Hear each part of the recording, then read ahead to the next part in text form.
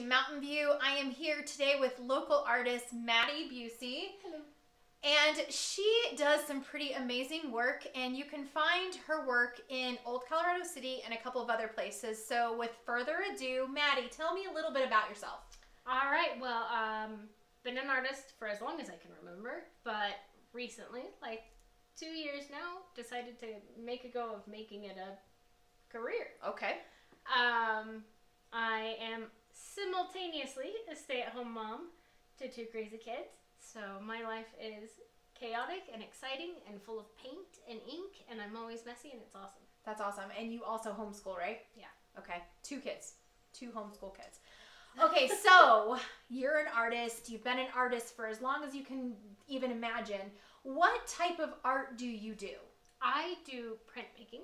Okay. printmaking, um, for lack of a better thing to say about it and to keep it short, is making a stamp and stamping it. But um, think 20 inch by 20 inch hand carved detailed stamp on linoleum. Okay, so print art is one thing that you do. What other type of art do you do or do you love doing? Yeah, um, I do a lot of watercolor.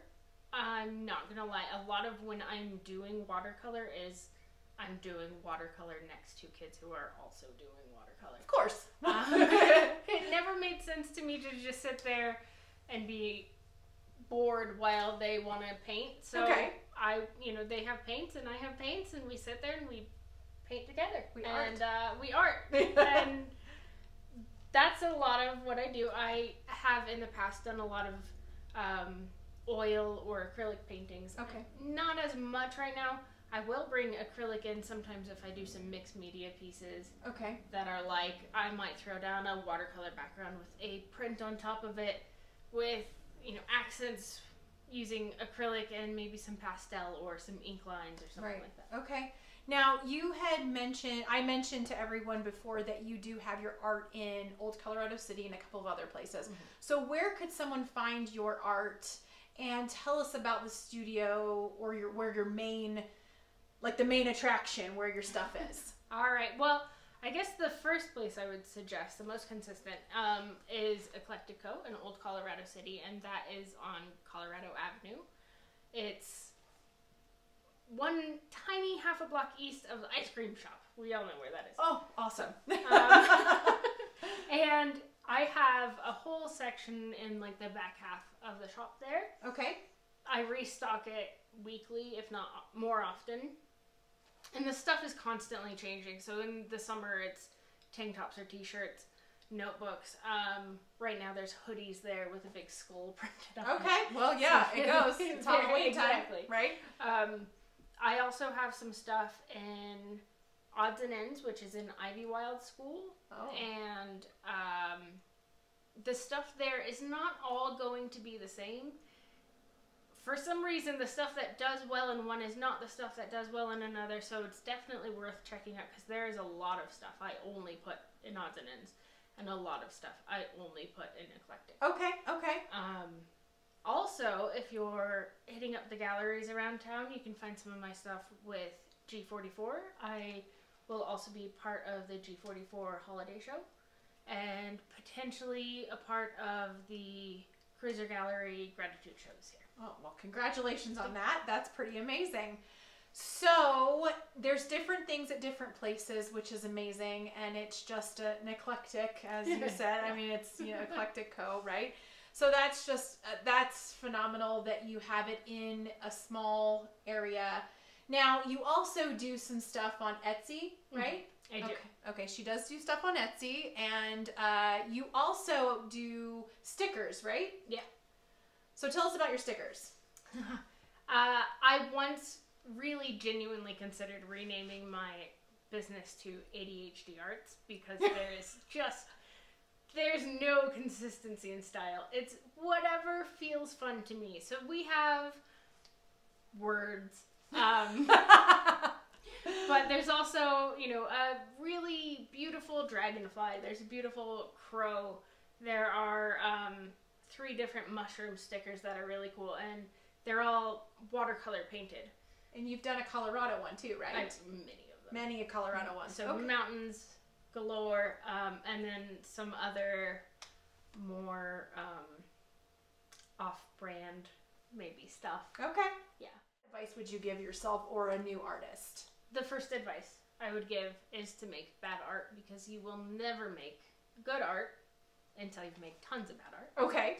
Um, and just because something feels bad to you does not take away from the fact that it is still art.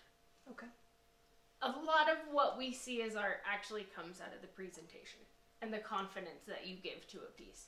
So just, you know, have a mat lying around and play with your things to say, maybe it is actually really cool. Just because it's a weird bird doesn't mean it's not a cool bird. Right. Okay. Um, my second thing that I would tell people is to always be open to asking the community uh, Yes. to be a part of it.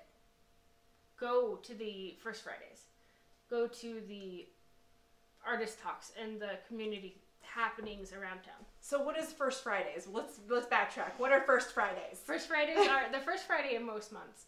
Most places, most cities that have galleries will have a First Friday art walk where all the galleries have their opening for the month. Okay. Um, and you don't pay, you just come in. Usually there's wine or beer. Oh. And you just walk around. The artists are all there. You get to meet the gallerists.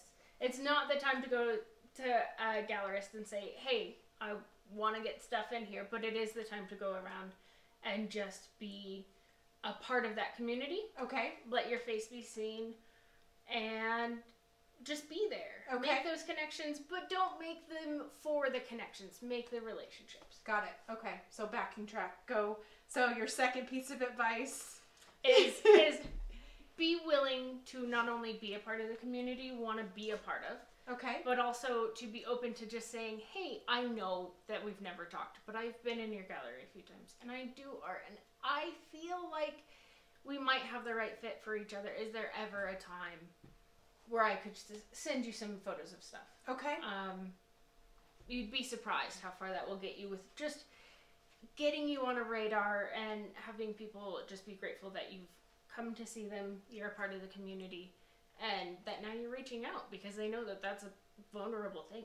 Yeah. It sounds to me like being part of your local small community is is paramount in your business. Information with Madi and to follow her on social. Where can they find you? My Instagram is busi underscore artish, B U S I underscore A R T I S H. And then my website is www.madibusi.com or M-A-D-I-B-U-S-I.com. I know Okay. my name. Okay, and then um, can people also get custom prints or custom work from you? They just would need to kind of interview with you, and you do that as well, correct? I do loads of that. I've done um, custom business stamps for people, Okay. logos for Bar Forte downtown. I've printed some of their shirts. Um, notebooks for companies. I've also done select prints that I have. For example, someone last Christmas said, I really want a daffodil, but I want it in my mom's favorite colors, and this is her favorite poem. Could you write it underneath? And I did.